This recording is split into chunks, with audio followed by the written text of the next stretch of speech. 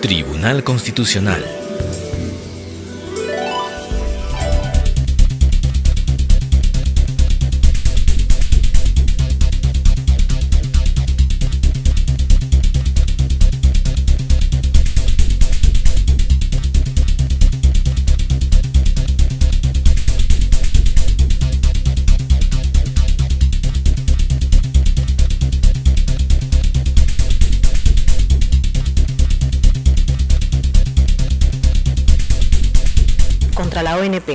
Señor presidente, ha solicitado el uso de la palabra por la parte demandada la doctora Natalia Talledo Aviles.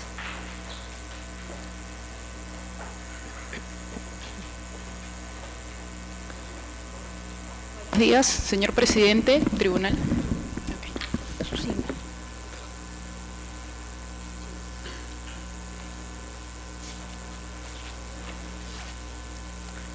Bueno, buenos días, eh, señor presidente, tribunal.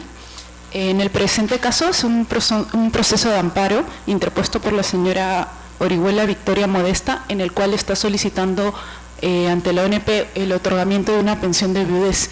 Eh, en, la tercera sala civil eh, ha sido declarado improcedente su recurso debido a que ésta no ha acreditado fehacientemente, fehacientemente los años de aportes de su causante ni adjuntado este, la, eh, la sucesión intestada, ¿no? debidamente inscrita. Eh, por lo tanto, tampoco la ONP se ha podido pronunciar en nivel, en, en nivel este, en sede administrativa. Por lo tanto, no puede interponer un recurso de agravio constitucional.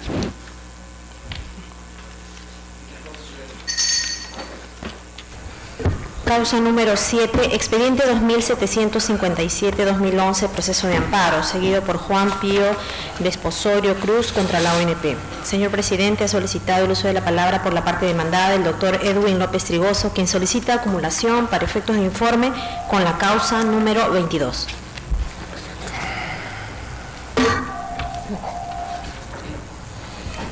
Señor presidente, señores miembros del tribunal, en el presente caso, el señor Juan Pío Desposorio Cruz acude a vía acción y amparo al Poder Judicial solicitando el reconocimiento de una pensión mínima de conformidad con el artículo primero y 4 de la Ley 23908. Al respecto, sobre el artículo primero de la Ley 23908, ya el Poder Judicial había declarado fundada la demanda, mérito al cual incluso en primera instancia la ONP adjuntó la resolución número 3049 del 2010 ONP, el 18 de marzo del 2010, mediante el cual se reconoció eh, la pensión mínima este, de conformidad con el artículo primero de la ley 23908 y conforme a, precedentes eh, dictados eh, por ese digno tribunal, debería declararse la sustracción de la materia al respecto. No obstante, sobre el artículo 4 de la ley 23908, el demandante este, recurre vía agravio constitucional toda vez que había sido declarado improcedente. Al respecto, sobre este extremo, debe tenerse en cuenta que ya el Tribunal Constitucional en, su presente vinculante emitido en el expediente 5189 del 2005 dispuso que el reajuste no es exigible y no procede de manera automática, pues está supeditado a factores económicos. En ese sentido, de- debería rechazarse este agravio constitucional, confirmarse la sentencia o en todo caso declararse la sustracción de la materia, ya que ONP reconoció la pretensión del demandante respecto al artículo primero de la ley 23908. En ese sentido, solicitamos que, se emita el pronunciamiento del Tribunal Constitucional. Respecto a la acumulación solicitada y que corresponde al proceso seguido por Severino Ceballos Paquillauri, al respecto el, demandante solicita reconocimiento de renta vitalicia, pues señala que padece de enfermedad profesional, específicamente de neumoconiosis. Al respecto, ya el Tribunal Constitucional, en su precedente, en el, en el expediente 2513 del 2007, ha señalado expre- expresamente que tiene que acreditarse la relación de causalidad. Al respecto, el demandante elaboró en la compañía Minas Buenaventura en la condición de albanil, no existiendo relación de causalidad entre la enfermedad que señala padecer y es mérito al cual incluso el Poder Judicial declaró improcedente la demanda. En ese sentido, solicitamos se rechace la demanda incuada en el presente proceso. Vista las causas, pleno voto. Causa número 10, expediente 2762-2011, proceso de amparo, seguido por Osvaldo Velázquez Cárdenas contra la ONP. Señor presidente, ha solicitado el uso de la palabra por la parte demandada el doctor Víctor Hugo Quinto Nuñovero. Señor presidente, señor magistrado, muy buenos días. Pues en el presente caso, el actor solicita una pensión de jubilación en atención al segundo párrafo del artículo 44 del decreto ley 19990. ¿Qué dice la norma? Que para el caso de cese colectivo es necesario que el actor pre- acredite 55 años de edad para el caso de hombres y 20 años de aportes. En sede administrativa el actor solamente ha acreditado 17 años de aportes, por ende le restarían 3 años para poder acceder a la solicitud que, que ha presentado. ¿Qué documentos ha presentado en la vía judicial para acreditar esos 3 años de aporte adicional? Una relación de empleadores de Orcinea y una declaración jurada del propio demandante. Es conocido que el Tribunal Constitucional en la sentencia 47 62 del 2007 ha señalado cuáles son los documentos idóneos para acreditar años de aportes. En este caso no ha presentado dichos documentos, por ende, en el juzgado y en la sala ha sido declarada improcedente su demanda. Por ende, nosotros solicitamos que se confirme la venida en grado y se declare improcedente su demanda. La causa, voto. Causa número 19, expediente 2788-2011, proceso de amparo, seguido por Sudamericana de Fibras S.A. contra LSA Enterprises Perú, SAC y otro. Señor presidente, ha solicitado el uso de la palabra por la parte demandante el doctor Javier Franco Venegas Martínez y por la parte demandada el doctor Juan Federico Doroteo Monroy Galvez.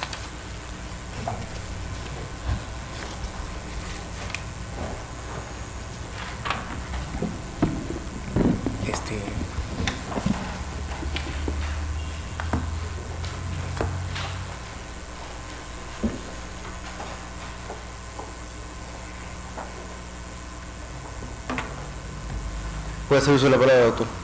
Gracias, señores magistrados. Señor magistrado, vengo por mi patrocinada, que es la que interpuso la acción de amparo y la que ahora nos convoca este recurso de grado constitucional que hemos interpuesto. ¿Qué sucede? Tenemos acá dos empresas, señores magistrados, una que es mi patrocinada, que es una empresa que tiene una planta industrial que se dedica a la fabricación de fibra este, acrílica para usos textiles. Es una empresa que tiene todas sus este, autorizaciones, que cumple con todos los requisitos y que viene desarrollando su actividad de acuerdo a las autor- autorizaciones pertinentes. Tenemos por su parte a la Municipalidad del Callao, que es uno de los demandados, y el otro demandado, que es la empresa LSA. Esta empresa LSA es una empresa colindante que ha construido un terreno en un área que se llama, realmente de dominio restringido. Esta área de dominio restringido ha levantado un cerco perimétrico en base a una autorización provisional otorgada por la Municipalidad de Callao. Esa autorización provisional no incluía eh, también la pavimentación que realicen una loce concreto sobre el suelo. ¿Qué es lo que genera todo este problema de carácter constitucional? Que nuestra empresa tiene una tubería submarina que desemboca en el mar y que pasa por debajo del terreno sobre el cual está construido este cerco perimétrico y esta loce de concreto. ¿Qué conlleva esto? Esta tubería submarina, que tiene las autorizaciones pertinentes, traslada materiales inflamables, muy delicados, que son los que se utilizan lógicamente en la actividad que desarrollamos. Hay una servidumbre constituida por el anterior propietario sobre el terreno sobre el cual se desplaza esta tubería submarina. ¿Qué pasa? Al construirse este cerco perimétrico y esta losa de concreto, se impide que podamos realizar el mantenimiento de esta tubería. Ojo que estamos hablando de un material inflamable, un material industrial. No podemos realizar el mantenimiento de esta tubería, sea preventivo o correctivo. Ahí justamente se genera toda esta controversia. ¿Qué sucede? Interponemos la demanda de acción amparo, invocamos varios derechos, libertad de empresa, libertad de trabajo, de actividades y derecho al medio ambiente. En primera instancia, la demanda se declara fundada en los Juegos Civiles del Callao. Apela a las partes demandadas y la Corte Superior emite una resolución que es la que nosotros estamos cuestionando en este recurso de agravio constitucional porque advertimos varios errores.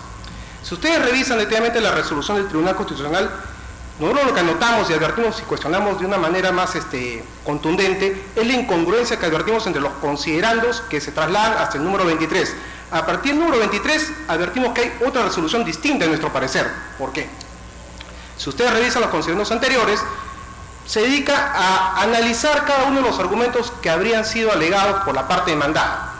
¿Por qué? La parte demandada, al contestar la demanda, señaló que nuestra acción de amparo era improcedente. ¿Por qué era improcedente? Porque se trataba de un hecho irreparable. ¿Por qué era un hecho irreparable? Porque cuando nosotros accionamos, interpusimos la acción de amparo, ya estaba, ya estaba el cerco perimétrico construido.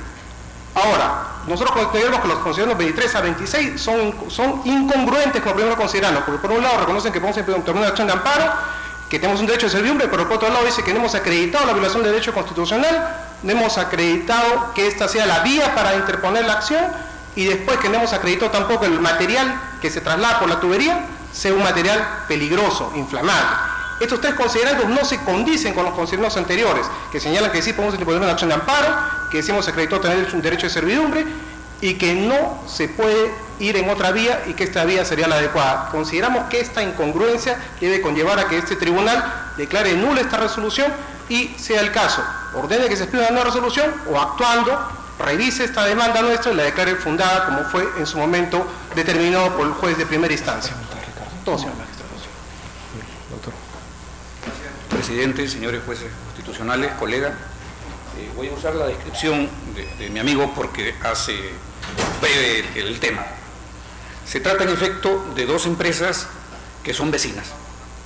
Pero antes de que sean vecinas, la demandante construyó una tubería subterránea que cruzaba el terreno que luego adquiere mi patrocinada. Debo decir que cuando mi patrocinada adquiere y va a la ficha autónoma de aquello que adquiere, no está inscrito eso. Pero en realidad hasta eso es secundario, no está inscrito. Entonces, cuando está construyendo para hacer una almacenera, eh, eh, aparece la tubería. Entonces se preocupa, va a la municipalidad e intenta suspender la construcción. Entonces empieza un trámite administrativo en donde ataca esta licencia provisional, pierde, se ve en reconsideración, sale una resolución de gerencia, pierde también, la apela, acaba este trámite administrativo y empieza un contencioso a la fecha en trámite. En medio de este íter que yo les acabo de escribir, en medio, cuando va más o menos a la altura de, la segunda resolución de gerencia, empieza este amparo. ¿Qué contiene este amparo? Contiene dos pedidos. La ineficacia de dos resoluciones administrativas, uno, y dos, que se paralice la obra. En efecto, hay algo en la cual yo estoy totalmente de acuerdo con, con, con mi colega. Esta sentencia que viene en grado tiene cierto grado de incoherencia que yo la verdad es que no sé cómo entender. Por ejemplo, en la demanda, en la página 16, dice, ¿por qué yo demando? Por la conducta lesiva de la administración, porque he pedido dos resoluciones mediante las cuales, de forma ilegal y arbitraria, otorga posibilidad de realizar construcciones. Página 16, estoy leyendo la demanda. Yo digo, si la municipalidad tiene una actuación ilegal y arbitraria, señor presidente, señores jueces constitucionales, ¿no será que este es un caso de control de legalidad que tiene que hacerse en sede contencioso administrativo? La sala dice que sí. O sea, lo que, yo, lo que le pedí, que, que diga que es improcedente, la sala dice sí, estoy de acuerdo. Pero como además ha pedido que paralice, ya es una situación sui generis, dice. En realidad debo decir sui generis, porque utilizó mala, mala letra G ahí. Y, sin embargo, como hay dos pretensiones y una es contenciosa y la otra es que paralice, entonces sí procede el amparo y es, eh, eh, mi pedido no procede. Señor, la demanda, el sello de la demanda es del 7 de diciembre del 09. Y nosotros al contestar la demanda presentamos un documento de 18 de noviembre, 23 días antes, 23, 24 días antes, en donde la Municipalidad de Callao acompaña un certificado de conclusión de obra, o sea, de entrega de obra, que esto es elemental para poder después inscribir. Y entonces decimos, señor, el artículo 5.5 del Código Procesal Constitucional dice pues que cuando uno pide algo y eso ha devenido en irreparable, pues se paralice. No, 23 días antes ya acabé. Entonces la sala dice, sí, en efecto, ya acabó. Pero cuando se está en amparo, el juez puede ir más allá de lo pedido. Yo no sé si esta significa suplencia de queja, porque si cree que es suplencia de queja, ha errado considerablemente. En ejecución podría haber alguna, alguna situación, como lo dice el artículo 35 de la Ley Federal de, de, de, del Tribunal Alemán, pero no cuando se pide. Como se pide no se puede hacer eso. Y una tercera razón para la improcedencia, presidente, señores jueces, en la página 3 y 4 de su demanda, describe esto que les acabo de decir. Hay una tubería submarina. ¿Por qué la he hecho? Porque yo tengo un, derecho de servidumbre de paso en un contrato por escritura pública y una concesión. Y en la página 6 dice qué cosa ha hecho la, demandada. Al construir, pone en peligro la tubería, vulnerando de esta forma su derecho. Ah, bueno, ¿qué derecho está vulnerando? El derecho de una servidumbre de paso, contenida en un contrato por escritura pública, y una concesión contenida en una resolución directoral. ¿Todo esto no es un acto administrativo? Artículo 38 del Código Procesal Civil, ¿cuál es el sustento constitucional directo? La afectación al derecho de servidumbre. O sea, ustedes van a entrar en sede constitucional a ver si el 1030, 1035 del Código Civil ha sido afectado. Esa es la función de un tribunal constitucional. Y eso es para pedirles la improcedencia. Y en un minuto, ¿por qué infundado? ¿Por qué ha pedido? Dice que se ha afectado libertad de trabajo, a la iniciativa privada, a la libertad de empresa, a la libertad de industria y al medio ambiente. ¿Y qué ha hecho la sala? Esta vez sí, coherentemente. Sobre libertad de trabajo, ha citado la sentencia 008 del 03 y 405804 de ustedes, en donde ustedes describen qué contiene la libertad de trabajo. Y obviamente, obviamente, el no de darle acceso a cuidar la tubería no es un caso de libertad de trabajo. Además, perdone, presidente, señores jueces constitucionales, ya esto es una falta de respeto, libertad de trabajo en una sociedad anónima. Es un poco difícil, ¿no? O sea, claro, uno puede especular mucho, pero, pero es bien difícil. Entonces ustedes han descrito eso.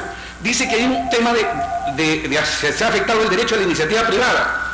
Sentencia 008 del 03, fundamentos 17 y 18, sentencia 7320 del 05, fundamento 73, que es iniciativa privada, cómo se afecta y cómo no puede afectarse.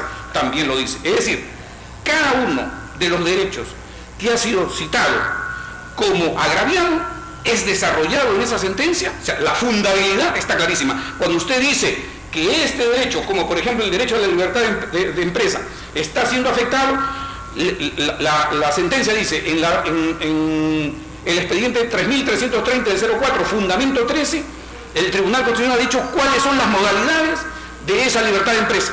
Y el que usted no puede entrar en, propiedad ajena y fracturar lo que esa persona ha hecho para cuidar su tubería, eso no es afectación a la libertad de empresa. Esa es la razón, presidente, señores jueces, para pedirles, en principio, declaren improcedente el recurso de agravio constitucional, subordinadamente infundado, si es el caso referirse al fondo, y acabar con esto. Gracias por su tiempo.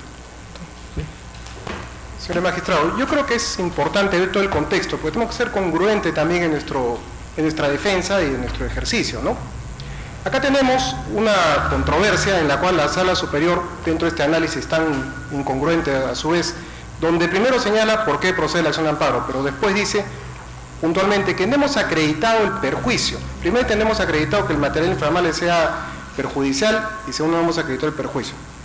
Eh, yo creo que hace referencia al de este, están refiriéndose al derecho al medio ambiente. Hay tres resoluciones acá del tribunal que caen recaen los expedientes 1029 del 2001, 18, una acción de cumplimiento 18 del 2001 y 5387 del 2008. Ahí está desarrollado el derecho al medio ambiente y acá es importante tenerlo, porque no se trata de que la tubería se siga deteriorando, no se pueda mantener, se genera un derrame de líquido, se genera un problema mayor para recién poder decir, ahora sí puede haber una acción de amparo porque el daño ya está acreditado. Creo que ese no es el razonamiento del artículo 2 del Código Procesal Constitucional.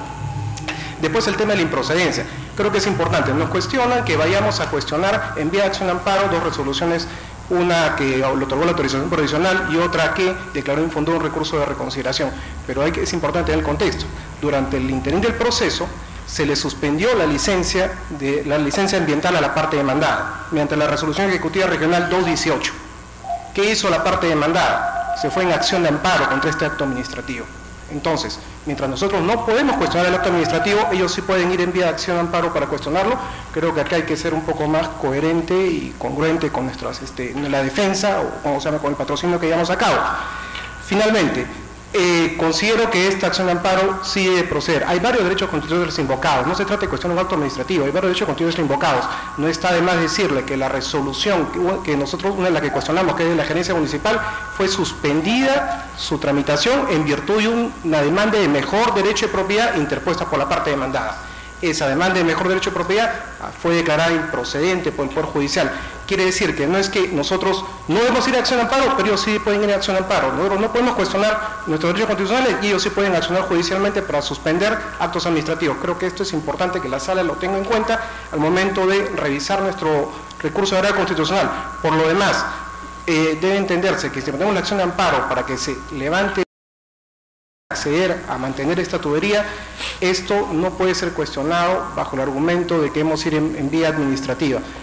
Como lo vuelvo a reiterar, el derecho al medio ambiente es es lo más primordial, está constitucionalmente reconocido, es el artículo 2, inciso 22 de la Constitución. Creo que este es uno de los tantos derechos constitucionales y no se le puede cuestionar que una persona jurídica no pueda tampoco invocar el derecho al trabajo. El propio tribunal en el expediente 8915 del 2006 también ha hablado sobre la, persona jurídica y el derecho a la libertad de trabajo. Eso es todo, señor nunca será mejor el derecho que en la realidad. Imaginemos por un minuto que alguno de nosotros, alguno de ustedes por ejemplo, compra un terreno de playa. Antes de hacerlo, obviamente va al registro público, mira si en efecto le está vendiendo quien debe venderle, no hay ninguna carga o gravamen y compra. Luego que compra, decide, para ya su tiempo mayor, construir. Y ahí piensa hacer en la parte de adelante, esta, esta pegada a la orilla de playa, pues la sala y la biblioteca, para pasar pues, lo- lo- los años que corresponde pasar en paz. Y de repente viene este- esta situación en la cual se dice, ¿no es cierto?, que debajo de ese sitio en donde ustedes están haciendo su biblioteca y sala, o sala-biblioteca, hay una construcción que ustedes tienen que tener cuidado. Entonces a la municipalidad de Asia le dicen que tengan cuidado, ok, pero cuando le dicen, ya acabó la construcción, ya ustedes tienen. Entonces ya el amparo, que era para que se paralice, como acabo de decir hace un rato, ya no tiene sentido. Ahora ustedes construyeron la casa. Entonces, ¿qué es lo que puede pedirse en este amparo? ¿Qué es lo que tendría que decir? Mire, señores, voy a ponerme en el otro lado. Sí, en efecto, ya se construyó. Nuestro temor era que al construir afectara la tubería. La tubería quedó abajo y ya ustedes tienen la casa. Sí, pero yo tengo derecho. Yo tengo derecho a cada cinco años darle una revisión. Ah, caramba, ¿y cómo va a, ejercer usted este derecho? Bueno, no, no, me imagino que una, una, zanja, ¿no es cierto?, en medio de la sala, la biblioteca, una zanja por ahí, y, mira, no es que ya esté bien otra vez largo, finalmente es porcelanato, mármol, no sé qué usarán ustedes, bueno, esto es poco importante, poco importante, lo importante es que cada cierto tiempo yo tengo el derecho constitucional a entrar a su casa y destruirla, periódicamente, después se las pongo bien, ¿ah? así que tampoco es que se alteren, ¿eh? Eso es este amparo. Gracias, presidente. Vista de causa, el voto.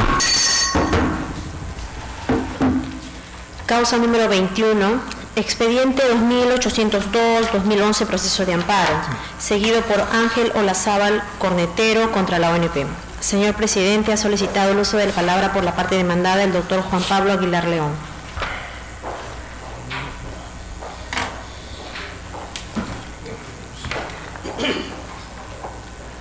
Señor presidente, buenos días, señores magistrados constitucionales. El presente proceso iniciado por el señor Olazábal Correteros eh, trata del otorgamiento de una pensión de jubilación especial denegada por la Oficina de Normalización Previsional.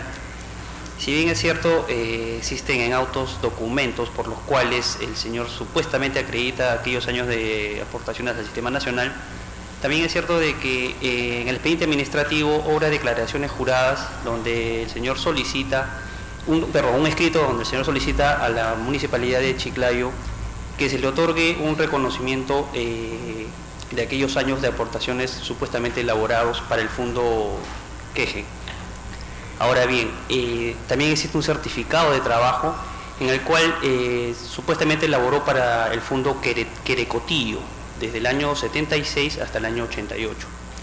Ahora bien, la séptima sala civil eh, determina de que existe una contradicción entre los documentos que el señor presenta y de lo que también se puede ad- advertir en el expediente administrativo, motivo por el cual eh, no es la vía lata el proceso de amparo para poder ser reconocidos los años de aportaciones que el señor supuestamente eh, acredita. Motivo por el cual nosotros solicitamos que el recurso de agravio sea desestimado y la demanda sea declarada improcedente. Eso es todo. Causa, queda el voto. Causa número 23, expediente 2804-2011, proceso de amparo, seguido por Roxy Cáceres Díaz contra el Seguro Integral de Salud del Ministerio de Salud. Señor presidente, ha solicitado el uso de la palabra por la parte demandante, el doctor Julio Mesarina Marino, y ha solicitado informes sobre hechos la demandante, la señorita Roxy Cáceres Díaz.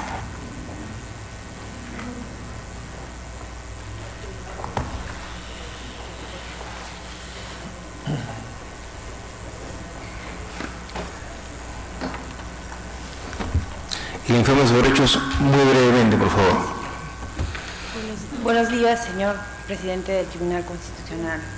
El CIS eh, inicia el procedimiento preventivo de despido mediante la carta de imputación de cargos número 112 El informe de hechos es eh, referido a lo que ha acontecido, que usted lo ha vivido, Ah, eh, ¿no es cierto?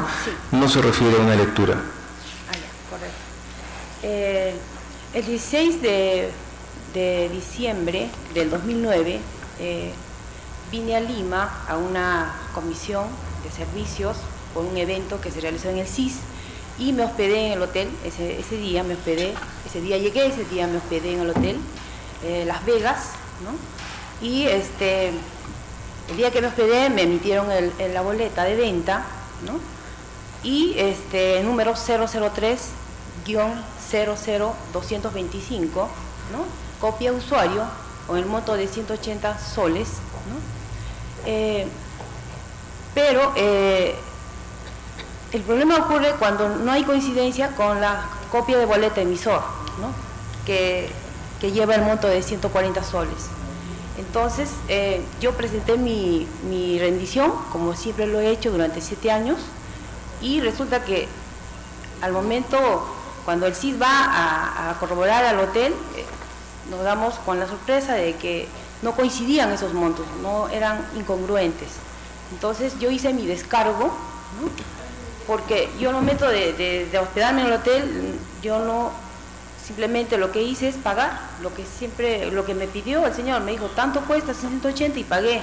Y yo no revisé, yo no, o sea, me retiré al momento y yo no he estado revisando que si coincidía o no con la, con la copia de emisor, como todo el mundo lo hace, cuando va a un establecimiento, hace un consumo y no está verificando si coincide o no coincide, ¿no?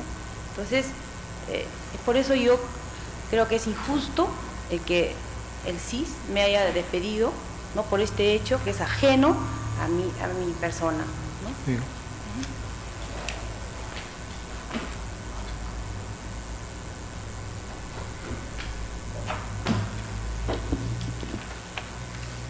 Señor presidente, señores magistrados, el presente proceso es una acción de amparo que acusa eh, un despido fraudulento y como consecuencia de ello se pide la reposición de mi patrocinada a su centro de trabajo, el CIS Seguro Integral de Salud. La procedencia del proceso constitucional de amparo planteada se sustenta en la sentencia del Tribunal Constitucional número 206 del 2005, que ha precisado que el amparo es la vía idónea para ver eh, un despido fraudulento.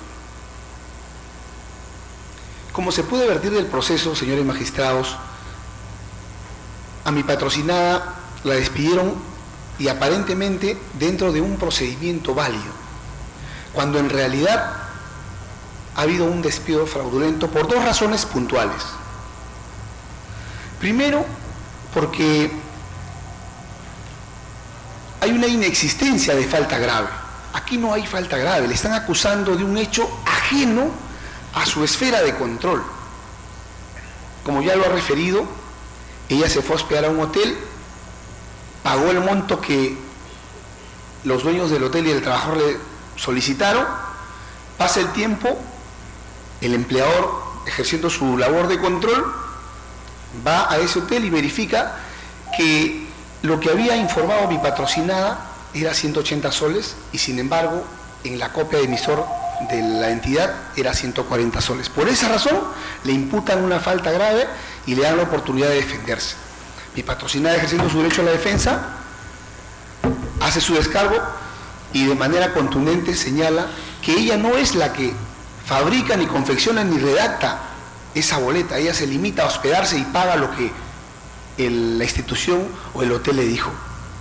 Es más, en auto sobra la declaración jurada del dueño porque con la preocupación de mi patrocinada fuimos a verificar y el dueño dijo que efectivamente hay una declaración jurada donde dice que eso ha significado que su ex trabajador estaba haciendo un robo sistemático. Eso se ha adjuntado, señor magistrado. El segundo punto, por lo que consideramos que hay un despido fraudulento, es la falta de tipicidad. El empleador acusa incumplimiento de labores que suponen el quebra- quebrantamiento de la buena fe laboral. Aquí no hay ninguna obligación de mi, de mi patrocinada de efectuar la boleta. O sea, ahí hay un error parte del empleador al imputar esta falta y señalar el inciso A del artículo 25 del texto único ordenado del decreto legislativo 728. Es un, vuelvo a repetir, está fuera del control de mi patrocinada de expedir esa boleta. Ella cumple su labor a cabalidad como siempre lo ha hecho durante los siete años y nada tiene que ver con relación a esa expedición de boleta. la segunda imputación es la apropiación o utilización indebida de bienes del empleador, prevista en el inciso C del artículo 25 del texto único ordenado del decreto legislativo 728. Igualmente, señores magistrados, aquí mi patrocinada en ningún momento ha utilizado ningún bien del empleador se ha hospedado cumpliendo su labor, porque su labor es siempre estar yendo a diferentes eh, departamentos durante los siete años y una mala, un mal trabajador del hotel que la ha perjudicado evidentemente, no puede ella asumir responsabilidad de terceros. Y eso es lo que le está imputando el empleador.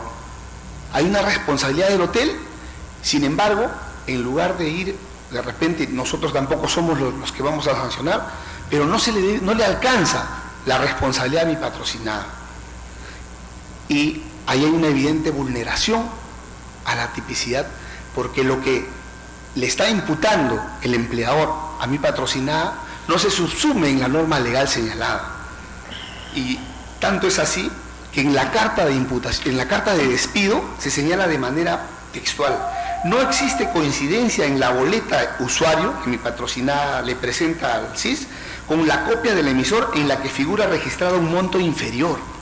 No tiene absolutamente nada que ver con lo que se le ha imputado, con el incumplimiento que ya se refirió de obligaciones de trabajo que supone el quebrantamiento de la buena fe laboral y mucho menos con la apropiación o utilización indebida de bienes del empleador. En ese sentido es que mi patrocinada plantea una acción de amparo acusando un despido fraudulento. El octavo juzgado constitucional, de manera liminar, declara improcedente la demanda, porque considera que no, hay eh, que, no ha habido que se requiere actividad probatoria.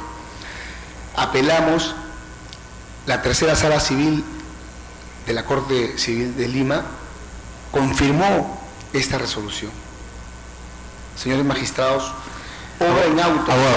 el, magistrado Fernando Calle le va a hacer algunas preguntas. Sí. Gracias. Está bien el presidente. no, doctor, yo quisiera que eh, me ilustre en este tema porque estoy un poco impresionado. Tengo entendido que para usted no es grave que un trabajador, me da la impresión que le dan gastos de viáticos, algo. Así Entonces, diga, son 180 soles y la empresa diga son 140. Eh, al margen después de las pruebas que usted tiene, ¿eso no le parece serio? O sea, ¿no le parece en la hipótesis de que no hubiera habido la contraprueba que usted ha mencionado y que le voy a hacer algunas preguntas, que una persona que le dan un gasto de alguna forma aparezca, si se probase su participación, si se probase su participación, que no justifique el mismo monto? ¿No es serio para usted siquiera? Mm, no, no este, eh, doctor. Lo que sucede es que en mi patrocinada, como siempre ha sucedido, ella se hospeda en diferentes hoteles por su labor y ella cumple con pagar lo que la institución, en este caso el hotel, le pide por alojamiento por día no La boleta de pago que a ella le dan es por el monto exacto que presenta a la, a la empresa. Así es, ella le da Lo que pasa que en la copia. Así es, la copia. Aparece otro monto. La copia que tiene la entidad. Sí, sí, la así es, el hotel, la, tenemos eh, la boleta que le dan a ella como consumidora es el monto real que tiene eh, para ella y que, ella pagó. No hay Pero en la copia aparece otra. Y en la copia que tiene que en la empresa. Correcto. La empresa ha dicho, perdón, la empresa ha certificado en este proceso que han tenido de que en realidad el monto que ha pagado la señora es la que tiene en su boleta y que hay una actitud ya de un personal interno que ha sido procesado por esas razones que ha hecho a varias personas seguramente. Claro, nosotros lo que hemos hecho, doctor, a raíz de que se le envió la carta es a ir al hotel a averiguar y el dueño del hotel ha verificado a través de las diferentes boletas que esto le estaban fraguando, le estaban este, haciendo un robo sistemático a su trabajador. Y en su declaración jurada él señala eso.